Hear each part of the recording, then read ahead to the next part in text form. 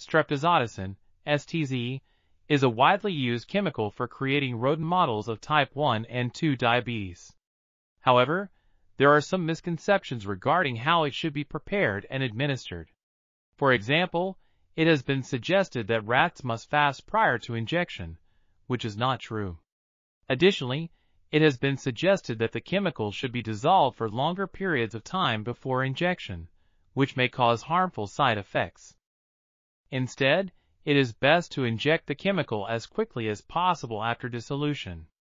Furthermore, it has been suggested that the chemical should only be given intravenously, however this method is not always effective.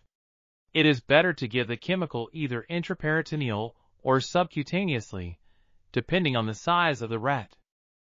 Finally, it has been suggested that the chemical should be given to rats while they are starving, however this is not necessary. Rather, the chemical should be given shortly after the rat has eaten. These guidelines will help ensure that your study is conducted safely and effectively. This article was authored by Isker Gassami and Sajad Jetty. We are RTCL.TV, links in the description below.